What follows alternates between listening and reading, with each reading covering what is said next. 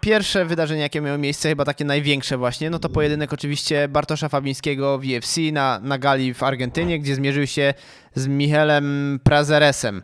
E, no sam widziałeś, 62 sekundy, obaj byli po siedmiu wygranych z rzędu, ale z tego pojedynku wyszedł zwycięsko właśnie Brazylijczyk i no w zasadzie chyba wszyscy byli w szoku, że, że to potrwało tylko 62 sekundy, natomiast jakby jaka jest twoja analiza, co ty zauważyłeś, gdzie został popełniony błąd? Czy wiesz, e, to ja, ja tak myślę, że to nie chodzi już o błąd, tylko bardziej chodzi o to, e, ten zawodnik e, to był bardzo dobry zawodnik, 25 wygranych, tylko dwie przegrane. Sam rekord już mówi, że on stoczył ogromną ilość walk e, i prawie wszystkie wygrał. Tak. Więc to był bardzo dobry zawodnik.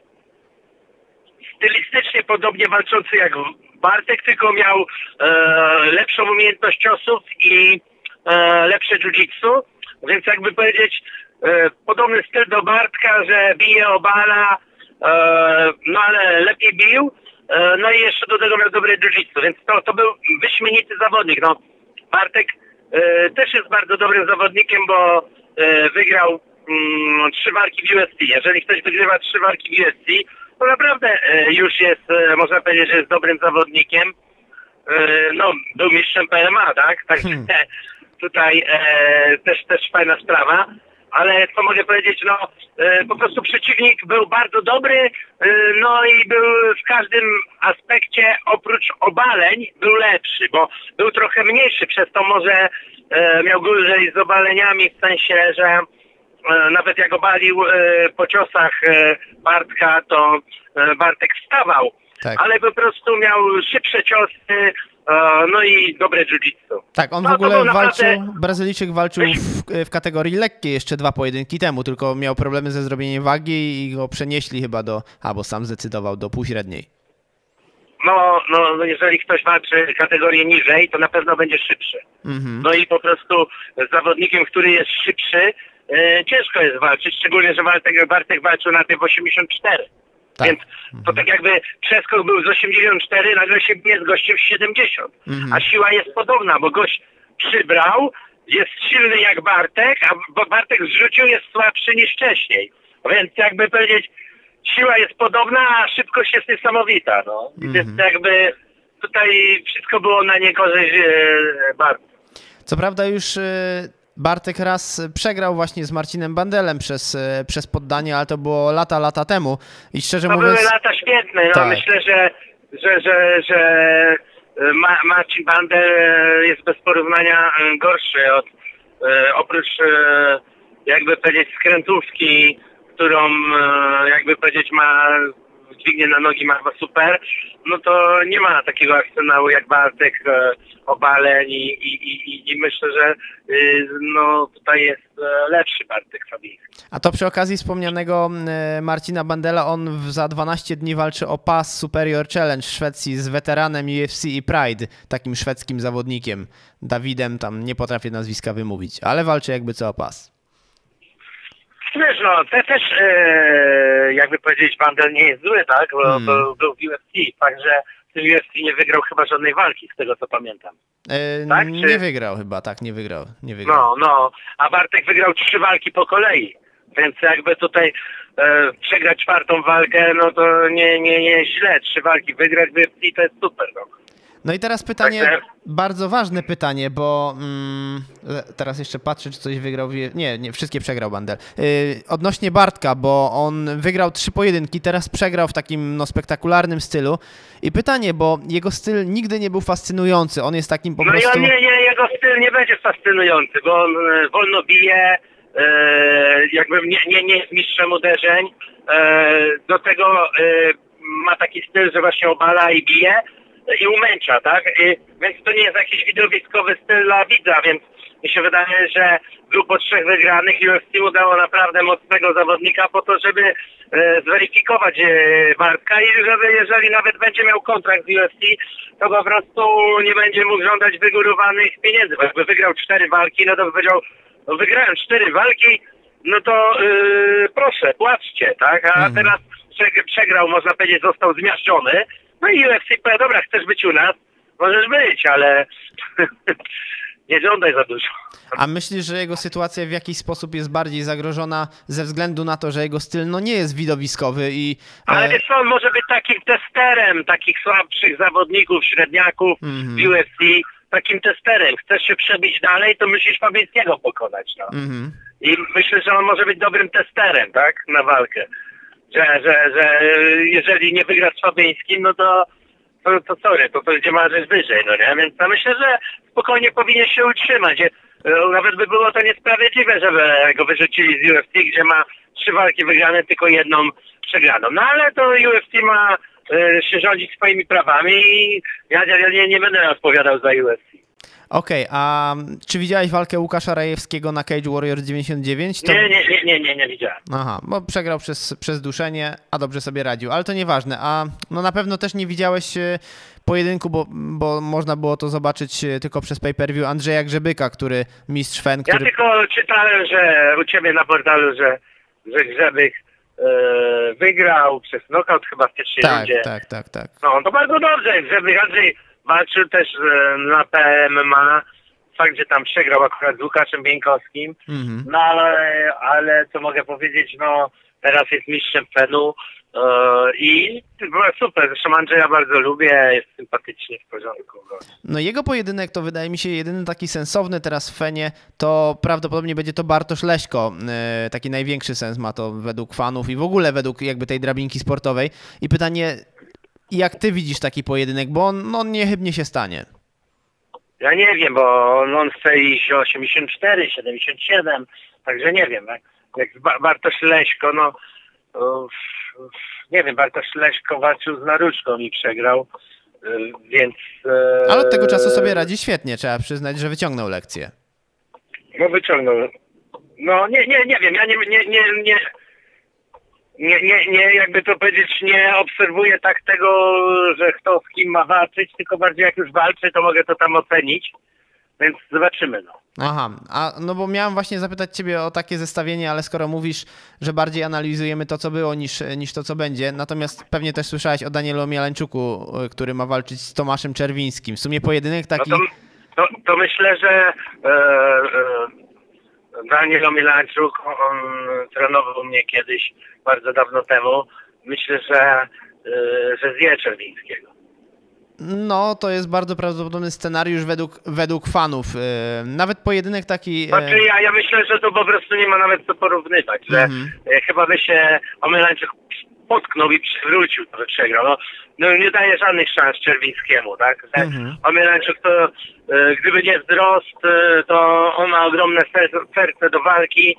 E, no Omylańczuk, e, mówię, jest ma- małego, niskiego wzrostu, to jakby powiedzieć w wielu walkach mu mm, tam trochę, znaczy trochę mocno przeszkadzało, ale co mogę powiedzieć, na pewno ma serce ogromne do walki i, i, i, i- i za to go trzeba docenić. Mhm. Bardzo blisko ciebie były, e, była, wczor- była w sobotę fajna gala Dragon Fight Night 4.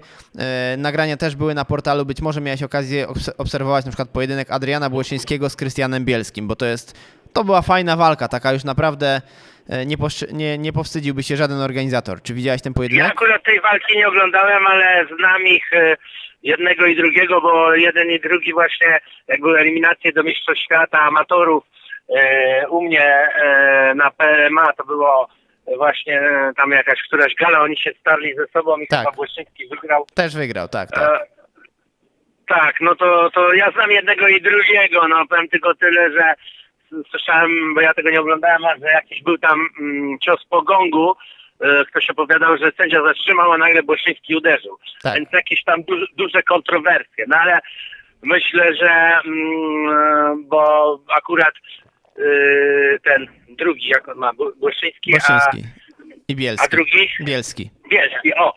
Że Bielski walczył z Karolem Linowskim, no i Karol tam wnosił protest, Tak. e, a Bielski tam mówił, o, że, że się rozpłakał jak baba, coś tam, bo i wnosi protest. No to myślę, że Bielski też nie wniesie protestu, też nie będzie płakał jak baba, e, że dostał po gongu, tak? Mhm. Paweł Derlacz ma Także- wnieść.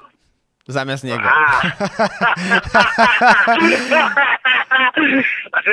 Strategiczne tak myślałem, obejście. że Bielski nie będzie znosił, tylko Paweł będzie znosił. No, no, Bo to jest tak, że jak Linowski wniósł, to jest babą e, wniósł protest, tak? A jak e, Bielski e, sam nie mógł wziąć, tylko poprosił trenera i wtedy babą nie będzie.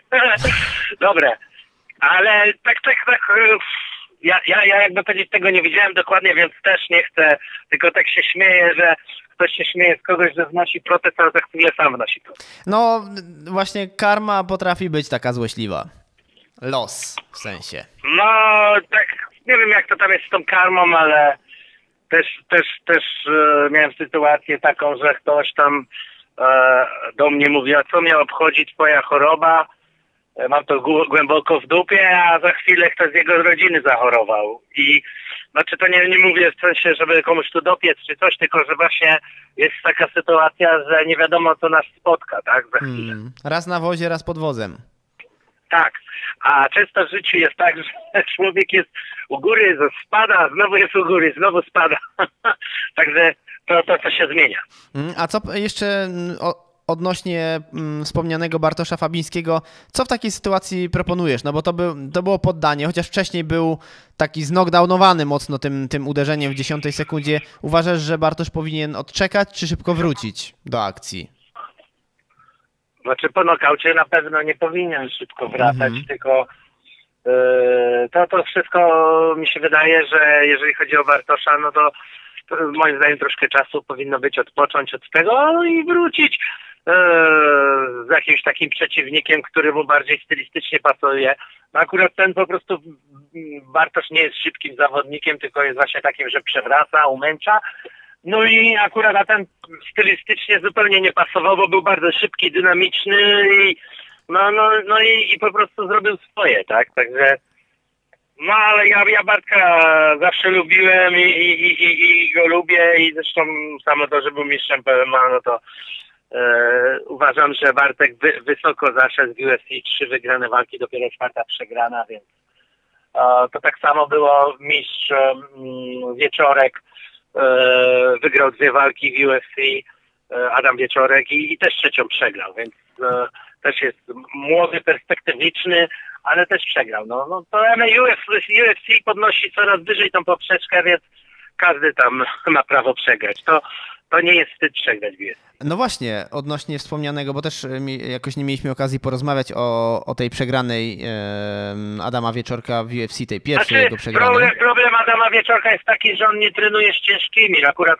e, teraz powstał Polish Top Team e, i tu jest dużo ciężkich zawodników e, i, i, i e, Adam Wieczorek powinien przygotowywać się do walk z ciężkimi e, trenując z ciężkimi, a on wiem, z tego co wiem, to trenuje z lżejszymi od siebie i później nagle przychodzi zawodnik, który jest 10 kilo cięższy, no i on nie wie, co się w ogóle dzieje, więc e, głównie e, błędem e, Adama to jest to, że mm, nie przygotowywał się z ciężkimi zawodnikami, no i też miał tylko taktykę taką, mm, że ma sklinczować, obalić, a jak to nie pójdzie, no to już nie ma taktyki. Mhm. E, No, no tam, tam, tam ewidentnie, bo w walka przypadku po prostu przeciwnik był dużo lepszy, szybszy i przez to przegrał, więc ja nie, nie winię tak Bartka za tą porażkę, a bardziej tutaj na przykład Adama winię, że się nie przygotował i że e, chcąc obalić rywala był, był słaby, w słabej kondycji takiej fizycznej, e, no po prostu nie radził sobie z tymi obaleniami. Mhm. Bo on teraz też tak. ym, nie wiadomo teraz tak naprawdę, który klub jest jego głównym, bo on tak dosyć mocno podróżuje, chyba trenuje z. y, Nie wiadomo bo gdzie, szczerze mówiąc, i w jego Łodzi, klub i się w Chorzowie. Jego, jego klub się rozsypał, teraz z tego co wiem, to tam w Łodzi trenuje, ale tam nie ma zawodników ciężkich. I, i Mhm. no, jeżeli ważysz 105, 110 kilo, to powinieneś wa- wa- trenować z takimi, co ważą 110, 115, 120, bo z takimi będziesz się bił. No i, i nie to powinien być jeden czy dwóch, tylko pięciu, dziesięciu. A u nas akurat na przykład w Polish Top Team e, jest głównie 93 i plus, e, więc są zawodnicy po 115, 120 kilo, e, po 100, po 105, więc są, jest duży, duży wybór zawodników. Mhm. A czy uważasz właśnie, że to, że, że Adam ma no całkiem dobry ten parter jak na, jak na zawodnika wagi ciężkiej, co, co dzisiaj jest taką rzadkością, że jiu-jitsu, jeżeli chodzi o stricte jiu-jitsu, to, to w tej wadze ciężkiej ze względu, no ze, ze względu na gabaryty i kilka innych czynników, tego jiu-jitsu jest tam po prostu mało, a on pokazał, że jest taki, e, potrafi zaskoczyć właśnie tą omoplatą w poprzednim on ma, on ma, on ma dobre jiu-jitsu, ale każdy w Brazylii e, ciężki trenuje jiu-jitsu, więc Mhm. jakby e, tutaj on na przykład akurat styl, jak na przykład walczył z jakimś zapaśnikiem, to go zaskoczył jiu-jitsu. Jak walczył tam z jakimś innym zawodnikiem, to też mu się udało, tak? E, z- chyba z Hamiltonem, zapaśnikiem.